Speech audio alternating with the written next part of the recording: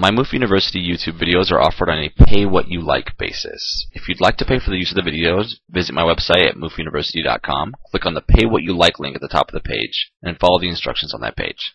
Thank you and enjoy. So in this video we're going to talk about palmitate synthesis and the actual reactions of it. Before we can actually have the reactions occur though, uh, we need to have what's called the priming of acetyl-CoA and malonyl-CoA, which is essentially the attaching of acetyl-CoA and malonyl-CoA each to the acyl carrier protein of the fatty acid synthase complex. If you recall the, the acyl uh, carrier protein of the fatty acid synthase, what it does is it carries the substrates from catalytic site to the to, to catalytic site and to the next one and to the next one. Um, but so before that can happen, we need to actually attach the substrates to the actual ACP so that that can happen. So the two that we're going to do that with are acetyl-CoA and malonyl-CoA. So both of them have the coenzyme A's attached via thioester linkages. So all we're going to do is replace that thioester linkage um, to acetyl-CoA with a thioester linkage to the acyl carrier protein. That's really all that's happening here. We're taking an acetyl-CoA and turning it into an acetyl ACP, which just frees up the coenzyme A, and now we have the acetyl group attached to the acyl carrier protein. So that um, that reaction is catalyzed by acetyl transacylase. Why is it called that? Well, because it moves this acyl group, specifically the acetyl group of acetyl-CoA, over to the acyl carrier protein. Same exact thing happens with malonyl-CoA. We're just moving the malonyl portion to the ACP, and that's catalyzed by malonyl transacylase. Before in the fatty acid synthase video, this was called AT and this was called MT, and you'll see the the rest of the enzymes later. I might not mention them as by their abbreviations, but uh, you should be able to recognize them if you paid attention to the other videos and pay attention here. So once we have the acetyl ACP and the malonyl ACP, we basically have the acetyl group and the malonyl group both attached to the acyl carrier protein. So we have our substrates that are attached. So these two are now primed. They are primed. They are ready for fatty acid synthesis. Now, just as a side note, this um, doesn't have to occur with acetyl-CoA and malonyl-CoA. For odd-numbered fatty acids, what can happen is instead we get it instead of um, instead of acetyl-CoA, we have um, propanyl-CoA, which is a three-carbon molecule. You'll remember propanyl-CoA from um, from the beta oxidation of odd-numbered fatty acids. So basically, what I'm trying to say here is that if um, if we had started with a propanyl-CoA and a malonyl-CoA instead of an acetyl-CoA and a malonyl-CoA, we'd get a propanyl ACP and a malonyl ACP. And we have the condensation reaction, we'd have a three-carbon molecule joining with a two-carbon molecule to make a five-carbon molecule that we'd start with, as opposed to what we're going to get here, which is we're going to get a four-carbon molecule that we'd start with. So this is for odd-numbered fatty acids, just as a side note, but we're not going to worry about that too much in this video. Okay, cool. On to the reactions the actual four steps. And again, I call it beta reduction, and hopefully that'll make sense to you as we go through this. Okay, so we've got acetyl ACP, malonyl ACP, and they're ready to go. They're primed. Now they can undergo the four steps, the actual um, beta reduction steps. So the first thing that we're going to do is we're going to connect this acetyl group, this acyl portion, specifically the acetyl group, to this portion of malonyl ACP to get acetoacyl ACP. And this carboxyl group here on malonyl CoA leaves as a carbon dioxide.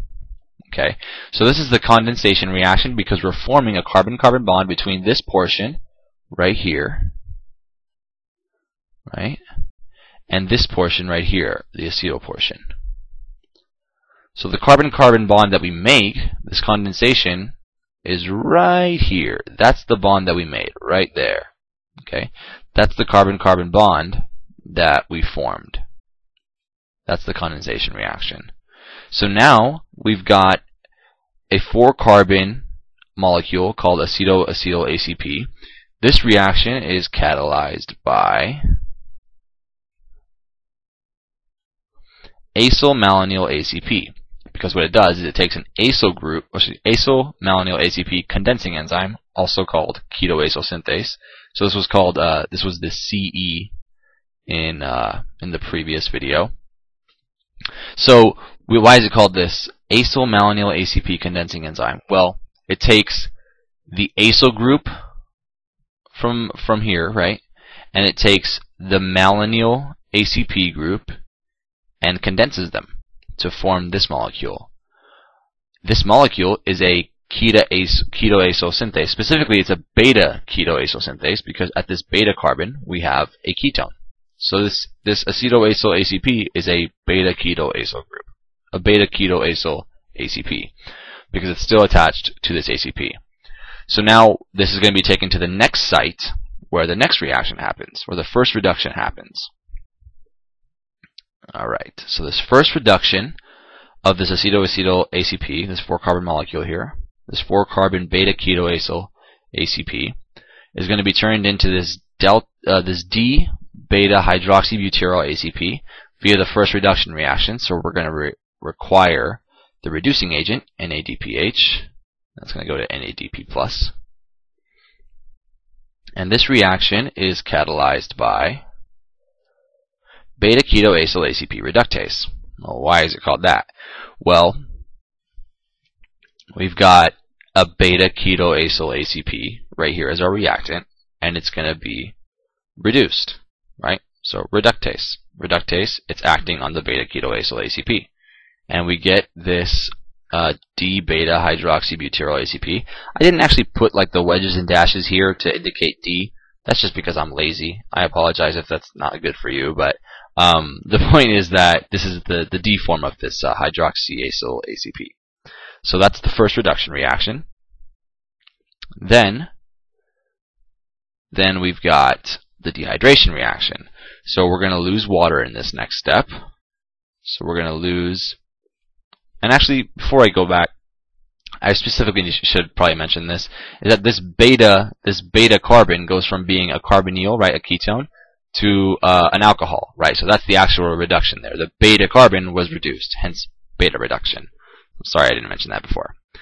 Anyway, um, now we're going to have the dehydration reaction. So we're going to lose water. We're going to lose this OH and one of these H's as water.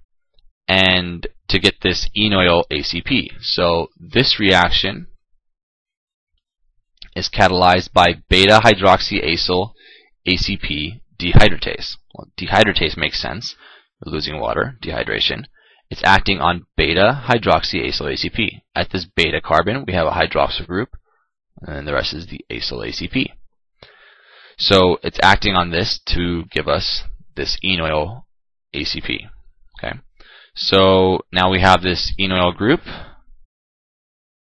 and we're going to have our final uh, reaction of the round, which is going to be the second reduction. So second reduction means we're going to need a reducing agent, NADPH. That's going to go to NADP+. And this is acting on this enoyl-CoA to give us this butyryl ACP. This is catalyzed by enoyl ACP reductase. Well, it's a reductase, hence the reduction reaction, and we're specifically reducing the beta, the beta carbon here. Um, or really just this, uh, this molecule, but specifically the beta. Um, and this is acting on the enoyl ACP. This is an enoyl ACP.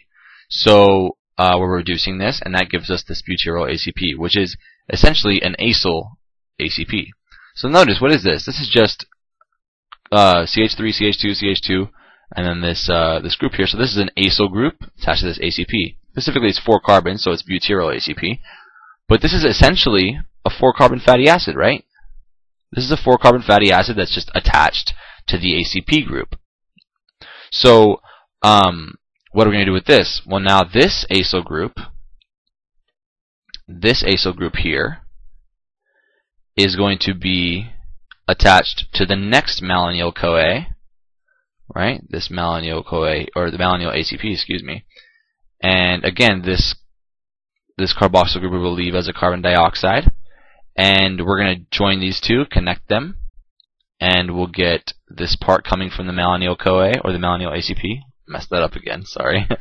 um, and this part here, this the rest of this coming, this these other four carbons are coming from um, from the butyryl ACP, the acyl CoA. So this is acyl malonyl ACP condensing enzyme allowing this to happen. So now we have a six carbon keto acyl ACP. So now the, re the reactions repeat, right? The four the four reactions of the condensation, the first reduction, dehydration, second reduction, all those occur. And after that second round, we'll have a six carbon fatty acid attached to the ACP. In this case, it would be hexanyl ACP. So these four steps, these four reactions, right? These the, the condensation, the first reduction, the dehydration, and the second reduction. Those four steps will continually repeat, each time needing a, a, a new malonyl ACP and that will repeat until we get the 16 carbons for palmitate. But after we get the, the 16 carbon acyl ACP, what happens? Well, it needs to be released, right? So the thioesterase um, on domain number 3 of fatty acid synthase, it cleaves the thioester linkage, right? It's a thioester linkage because of the, that's this linkage here, right? That linkage there.